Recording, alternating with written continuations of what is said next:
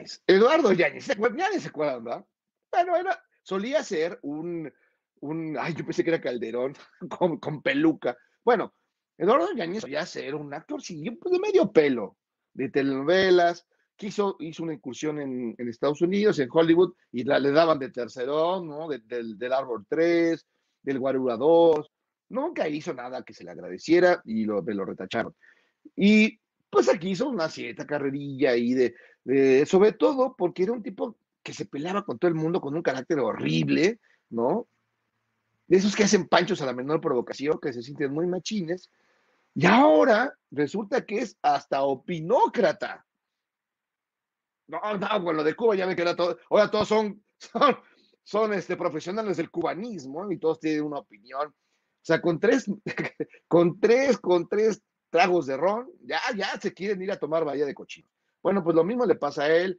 Empieza a, decir una serie de sandeces, ¿no? Inarticuladas, en algo re muy, pero muy, pero muy, pero muy remotamente parecido al español, ¿no? Y lo único que va a dejar constancia es de cuando golpeó a un reportero, insultó a personas, pero aún así es el tipo de personajes que está usando eh, pues la reacción o eh, pues todo el sector opositors para atacar a la cuarta transformation. Ya, ya no saben a qué agarrar, ya agarraron a Lalo España, del que ya ahorita ya nadie se acuerda, y porque yo me imagino que, pues, de repente, ¿cuánto te pueden haber dado?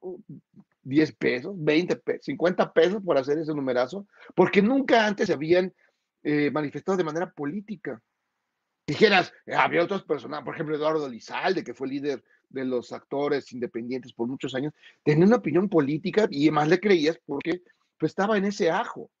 Claro, terminó siendo luego diputado ahí del PRI, pero bueno, no, bueno, opinar, nunca opinaba, pero siempre está a curul. Eso, eso sí la sabía hacer, era más lista.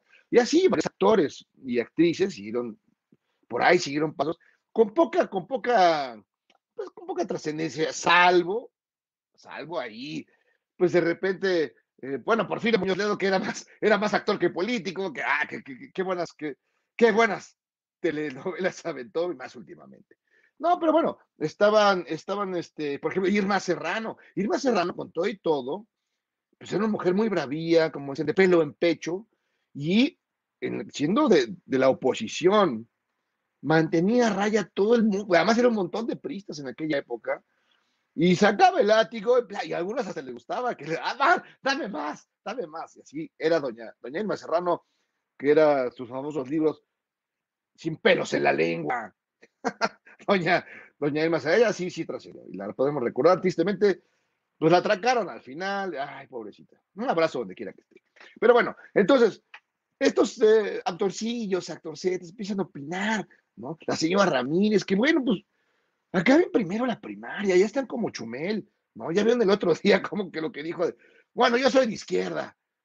Oye, pero entonces tú, los, la onda social. No, no, no, yo soy de izquierda nada más porque, eh, pues los derechos eh, civiles y que, y que el aborto y, y, y, las, y, el feminismo. ¿Cuándo va a ser feminista este? Ahí hay constancias, videos de que era, es un patanazo, un patanazo, ¿no? Y ahora resulta que es fake ministra. Eso sí, fake ministra, sí. ¿Cómo? Pues Marquitito Cortés, como todos, el, el, prianismo en pleno, que cada 8 de marzo, bueno, se salen, salen a las calles y se pintan el pelo de morado y, hacen su pancho. No, claro, y, y, como buenos panistas, ya después en su casa regañan a las mujeres, les gritan, ¿no? Les dan suapes y esas cosas. O hacen el famoso grito, ¡Ánimo, Montona! Entonces, ay, de veras, pues sí, hasta da ñañara, de, hablar de estos personajes tan, eh, tan chafas, tan dudosos. Entonces, aparecen todos estos seres siniestros, seres oscuros, bajos de moral, de moral dudosa, y a, y a, y a, tener opiniones políticas de algo que nunca habían hecho y ahora, qué casualidad que les dio. ¿no?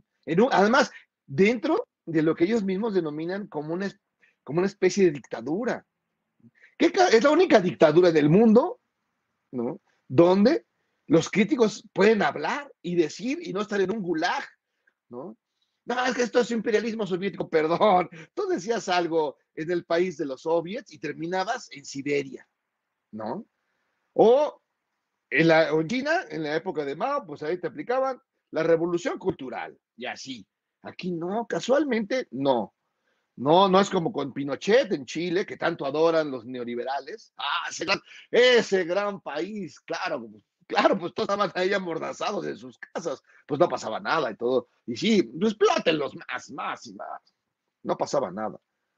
No, no, no, esta es la única dictadura donde, donde los que están eh, de la oposición pueden hablar, decir cosas, criticar, señalar, todos los días, a toda hora, por todos los medios.